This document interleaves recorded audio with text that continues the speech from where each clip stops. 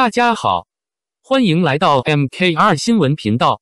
不要忘记订阅该频道，这样您就不会错过当天最热门的新闻。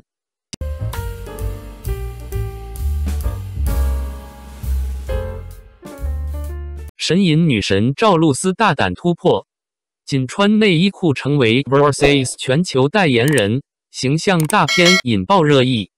赵露思作为陆剧新生代女神，在过去的两年里，凭借着古装剧《星汉灿烂》《月升沧海》、仙侠剧《神隐》和甜宠剧《偷偷藏不住》一举成名，成功登上了顶流地位。她的甜妹形象已经深入人心。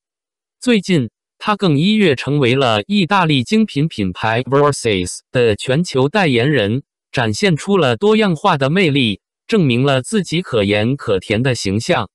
在形象照片中，她摒弃了甜美的模样，而是展现出了魅惑的烟熏妆，甚至穿上内衣大胆入镜，展现出了十足的酷劲。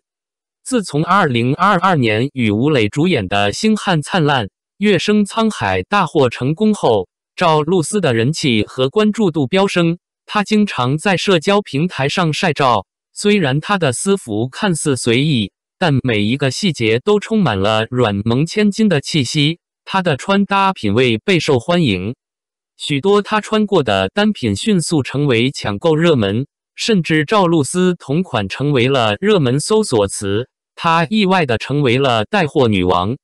去年。他与陈哲远合作主演了校园甜宠剧《偷偷藏不住》。据悉，当时剧组条件艰苦，甚至连造型师都没有，赵露思便自己挑起了造型的责任。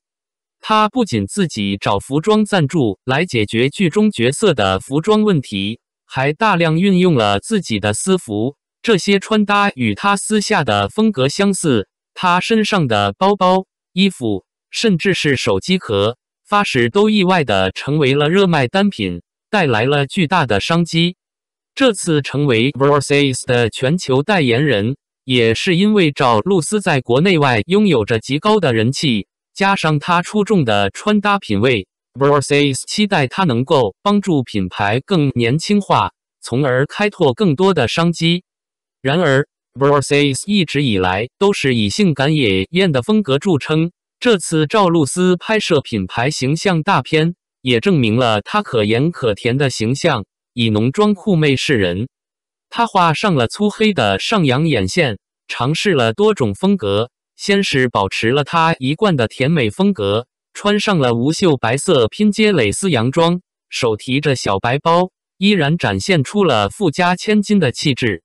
接着，她大胆突破尺度。穿上了酷帅风格的黑色皮外套，以及黑白格纹西装外套，下身搭配休闲牛仔裤，但内搭却仅穿着写有 Versace 字样的棉质内衣和内裤。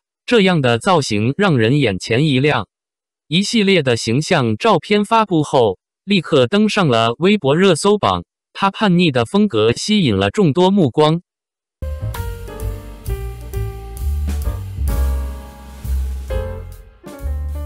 以爱为营，女神白鹿新剧华丽亮相，却因与《狐妖小红娘》王全篇李一桐撞衫，引发观众关注。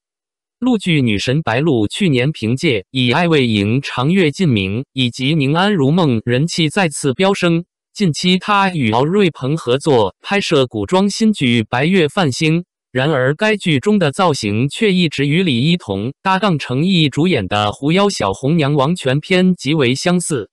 早前已有多达三套服装相似，引发争议。近日，两人又被发现穿着一套蓝色戏服，引发疑似撞衫的热议。有传言称两部剧将同时播出，令网友痛批：到时候恐怕会分不清是在看哪部剧。李一桐和邓为曾顺熙合作的古装剧《云秀行杀青》后，再次与程毅合作主演《狐妖小红娘》王全篇。饰演心地善良、重情重义的蜘蛛精女主青铜，白鹿则在《白月梵星》中扮演将军府的妖女白硕，立志修仙以报恩。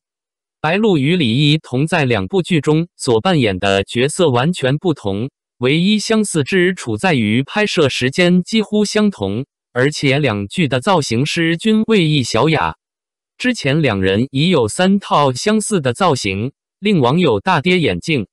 第一套造型中，两人都身穿粉色蕾丝戏服，头戴满是珍珠、珠花和蝴蝶结；第二套则是蓝紫与绿色混合的戏服，同样头戴珠花；第三套更加相似，两人均身穿红色戏服，带有毛饰，头上头饰看起来凌乱。近日。白鹿在《白月梵星》中的最新一套蓝色戏服被发现与李一桐在《狐妖小红娘王权篇》中的极为相似，两人身穿蓝绿色薄纱，散发出仙气。纱的质地相似，只是白鹿的发型简单，只插了一支银钗，而李一桐则头戴满是珠花，更为繁复花俏。然而，两人身上的戏服似乎是用同一块蓝色飘逸布料制成的，只是剪裁风格不同。白鹿的衣袍造型较为简单，而李一桐则更像是拼接制作的。但两人的布料颜色和质地实在太过相似，此事也引发了白鹿和李一桐两方粉丝的不满。因为据悉，《白月梵星》和《狐妖小红娘王权篇》恐怕将在同一档期开播。而已经有四套相似的造型，难免会引起观众的比较心态。人们也担心观众会分辨不清到底在追哪一部剧，因此直言要求两部剧组对此事重视。感谢您观看视频。如果您觉得这些时事通讯有帮助，请不要忘记点赞、评论和订阅。